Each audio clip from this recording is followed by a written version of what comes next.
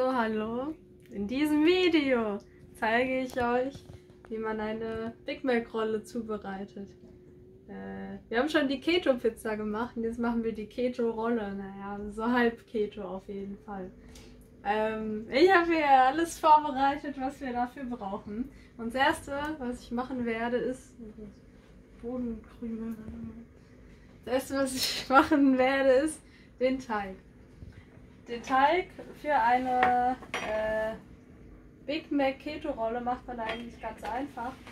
Ich mache die doppelte Menge, aber man braucht in der einfachen Menge drei Eier, 100 Gramm geriebenen Käse und 250 äh, Gramm Magerquark. Da ich aber die doppelte Menge an allem mache, nehme ich sechs Eier. Und ich mache die doppelte Menge, um zwei Rollen machen zu können. Aber das seht ihr dann ja noch. So, Ei 1, Ei 2, Ei Nummer 3,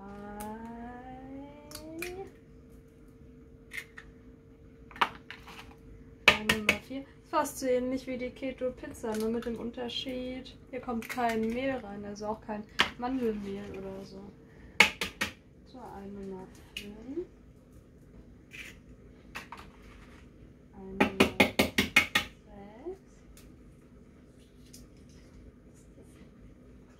6. raus. okay, so sechs Eier. Jetzt werde ich die Hände waschen.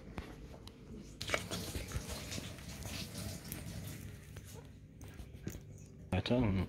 So, dann kommen wir als nächstes 500 Gramm Magerquark rein. Aber erst Packungsrecycling.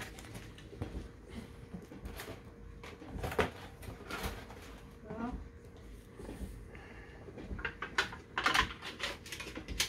Ich finde es ja gut, wenn es an einem, so, wenn es an einem Stück rauskommt. So. Dann musst du nicht so in der den Becher rumkratzen. Das nervt mich immer. Und dann kommen ja eigentlich, also bei der doppelten Menge 200 Gramm geriebener Käse rein, aber da die Packung eine Größe hat von 250 Gramm und man den Käse halt sonst ewig hat und nicht mehr benutzt, tue ich den ganzen Käse da rein. So.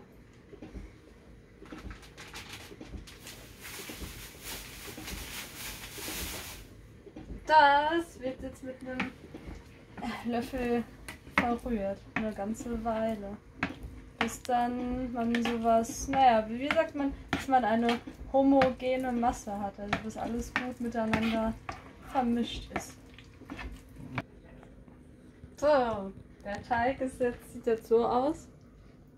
Sehr massig auf jeden Fall. Bevor ich den jetzt in den Backofen mache oder so, ähm, bereite ich gerne alles andere zu, weil sonst ist das alles so stressig für mich. Für die Soße, weil da kommt ja quasi so eine Big Mac Soße rein, die ist gar nicht so schlecht. Äh, die besteht aus in der Grundform zwei Teelöffeln Ketchup, einem Teelöffel Senf und zwei Esslöffeln Naturjoghurt. Äh, da ich ja immer die doppelte Menge mache, beziehungsweise bei der Soße halt gerne sowieso noch ein bisschen mehr, ähm, nehme ich jetzt zwei Esslöffel Ketchup. Also zwei Teelöffel sind für mich so ähnlich wie ein Esslöffel. Aber ich hätte ja gerne etwas mehr, also nehme ich jetzt zwei Esslöffel Ketchup. Wer es ultra keto low carb mäßig haben will, kann ja auch zuckerfreies Ketchup nehmen oder ähm, was noch? Oder Tomatenmark geht auch. Ein bisschen Wasser. Ähm, dann kommt jetzt halt quasi ein Teelöffel Senf rein, aber ich nehme dann jetzt einfach einen ganzen Esslöffel ungefähr. Ich kann euch jetzt noch den Trick 3000 zeigen. Wenn man so wie ich bei diesen Packungen immer nur so irgendwo rumquetscht, so, dann, dann hat man ja hier am Ende immer noch Senf übrig. So, weißt du, so nicht. Und dann mache ich immer folgendes. Kann man jetzt sehen. Ich nehme diese Packung Tube Senf und ziehe die einmal so über die Tischkante. So und einmal so lang. Und dann drückst du den ganzen Senf nach vorne. Naja. Und jedenfalls Jetzt kommt noch, äh, ich hatte ja gesagt, ich glaube zwei Esslöffel Naturjoghurt oder so. Wir haben noch griechischen Joghurt im Kühlschrank und den benutzen wir ansonsten für nichts. Deswegen nehme ich äh, den dafür. Und dann nehme ich einfach die ganze Packung. also in meinem Fall. Wie gesagt, das kann man natürlich auch alles ein bisschen variieren, aber das hat, habe es schon ein paar Mal so gemacht. Und die Mengen waren so eigentlich echt ganz okay. Könnte man sagen. Also das war eine gute Menge an Soße.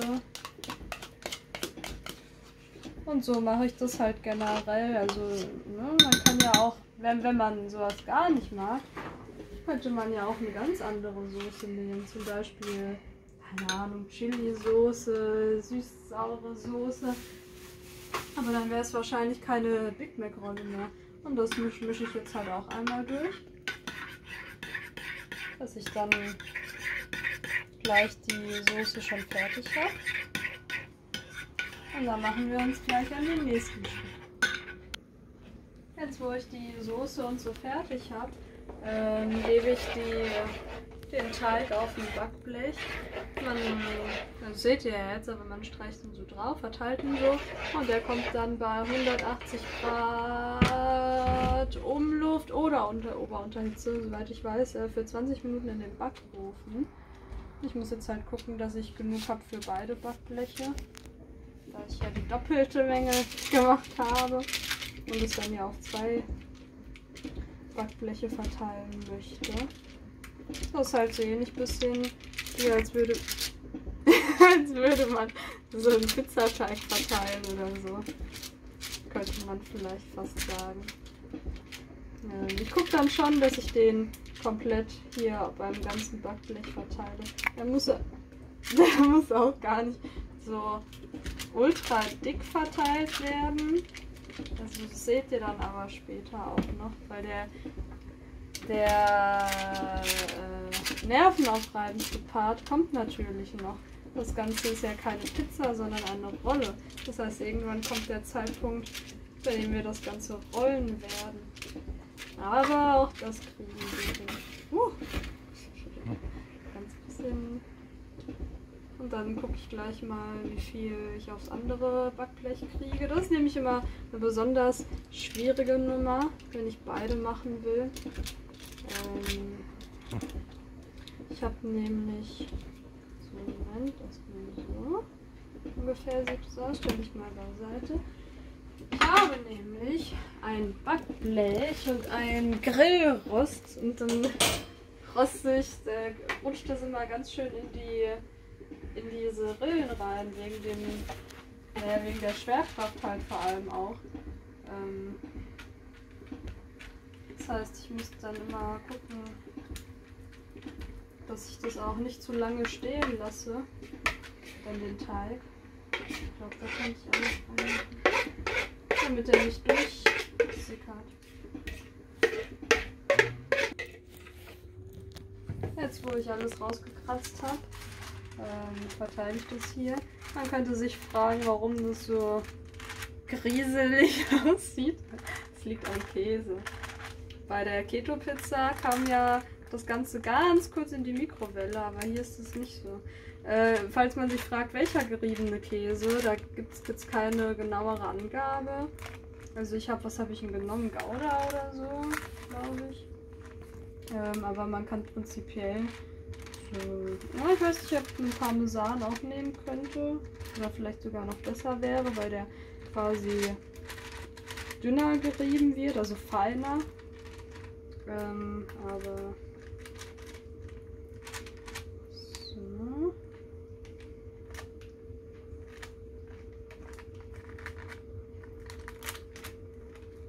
Es wird dann eine Keto-Rolle mit etwas dickerem Teig.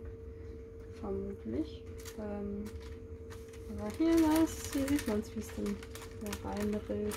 So, jetzt kommt jetzt schnell in den, in den Backofen. Das kommt oben hin. Ähm, vorsichtig. So. Das kommt unten hin.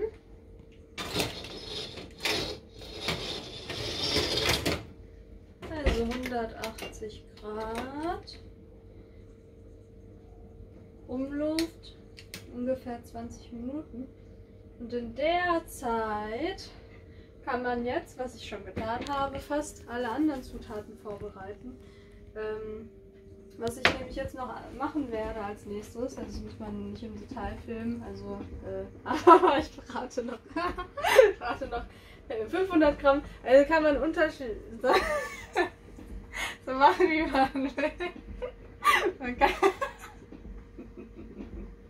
Niemand weiß, warum ich jetzt so lache. Auf jeden Fall. Äh, Im Grundrezept steht 250 Gramm Hackfleisch. So, ich nehme 500 Gramm Hackfleisch. Und theoretisch kannst du ja aber alles nehmen, was du da willst. Das ist veganes Hackfleisch. Oder Hähnchen, Brustfilet oder so. Keine Ahnung, auf jeden Fall soll man das, man soll das Hackfleisch so lange anbraten, bis es so krümelig mäßig ist. Weißt du? Das mache ich jetzt auf jeden Fall.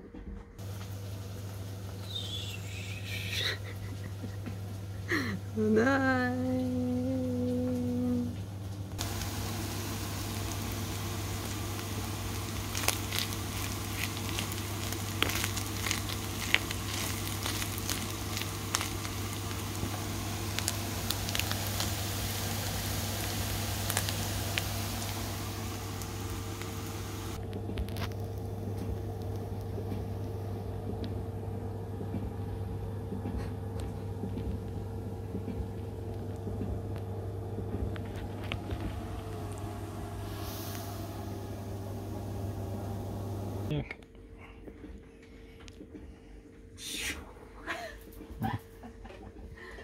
Ja, auf jeden Fall mal eine sehr hm, äh, luftfeuchtige Angelegenheit, äh, diese Sachen. Wir nehmen jetzt, welche nehmen wir dann zuerst raus? Wir nehmen zuerst die obere raus, dann kann die untere noch ein bisschen nachräumen. Ähm, ist vielleicht ein bisschen dunkel an manchen Stellen, aber so ungefähr sieht die jetzt aus.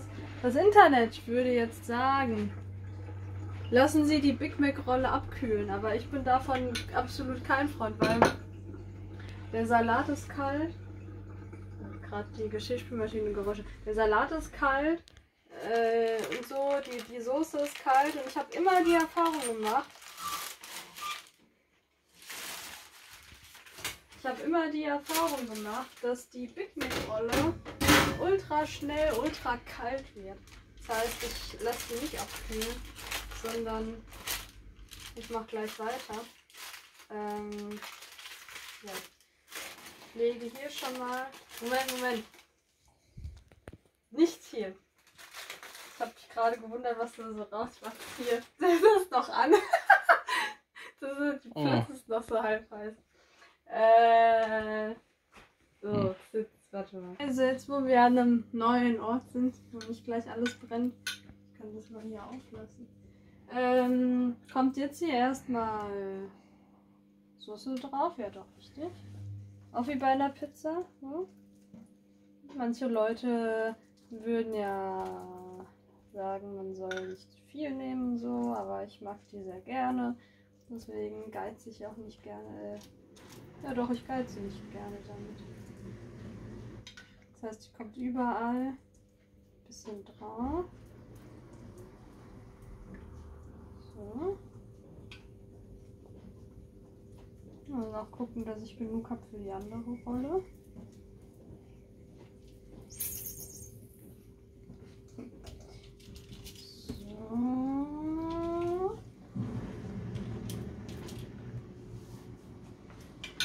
Als nächstes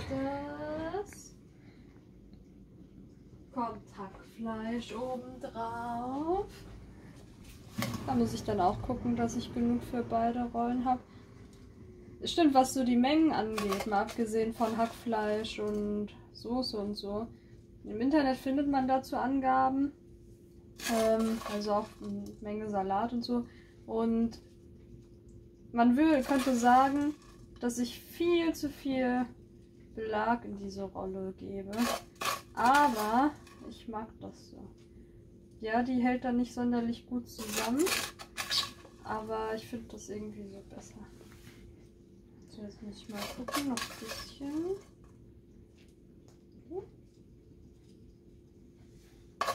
Dass für die anderen nichts mehr übrig bleibt. So. Jetzt kommt. Ziehen Sie eine Karte. Jetzt kommen da vier Scheiben Schmelzkäse rein, oder? Doch, richtig. Ähm, man könnte natürlich auch anderen Käse nehmen und nicht unbedingt den Käse, bei dem manche Leute sagen würden, das ist doch gar kein Käse. ähm, aber ich benutze den sehr gerne. Ich lege den dann immer so hier hin. Eigentlich würde da, würden da Big Mac rollenmäßig auch noch saure Gurken reinkommen. Aber wir hatten im Kühlschrank nur noch eine saure Gurke. Das heißt, ich habe ähm, die reingeschnitten, aber es ist sehr wenig saure Gurke. Dafür habe ich, Moment, dafür habe ich hier Salat gewaschen, also vielleicht das mische Tomaten, habe ich auch gemacht. Und man findet hier noch winzige Stücke saure Gurke. Das heißt, ich mische das einmal so durch.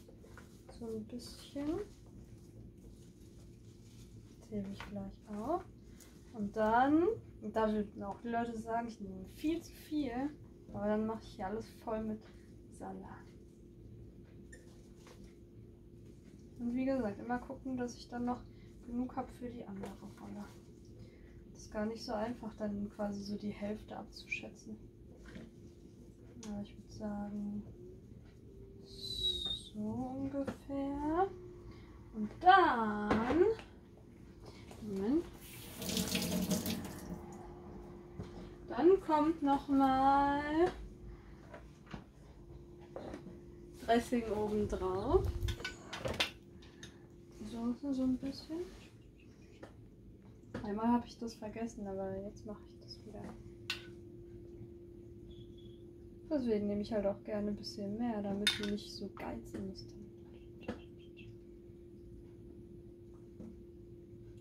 So, und jetzt kommt der nervenaufreibendste Part, das Zusammenrollen der Rolle. Ich mache das dann immer so ungefähr, dass ich ähm, hier das erstmal so einrolle. Warte, warte, nicht, nicht kaputt gehen.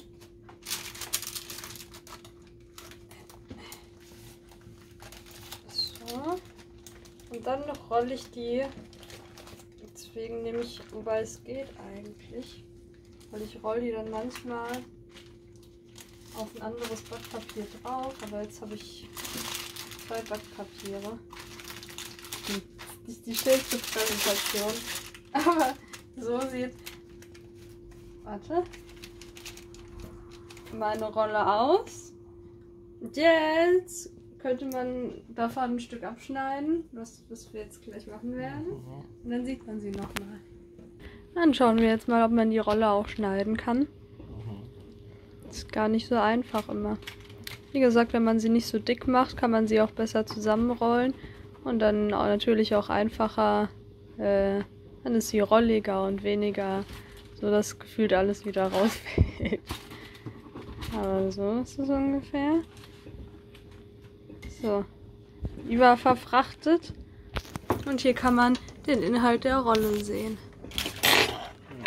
Hier und da auch. Da sieht man eine saure Gurke, das Dressing, den Salat, ein bisschen Hackfleisch. So. Und man sagt der Profi. Sehr lecker. ja, und so mache ich die Big Mac Rolle. Ähm, und ich belege jetzt noch die andere im Backofen. Und das war's. Schreibt mir gerne auch in die Kommentare, ob ihr auch schon mal eine Big Mac Rolle gemacht habt. Und wir sehen uns im nächsten Video wieder. Auf Wiedersehen.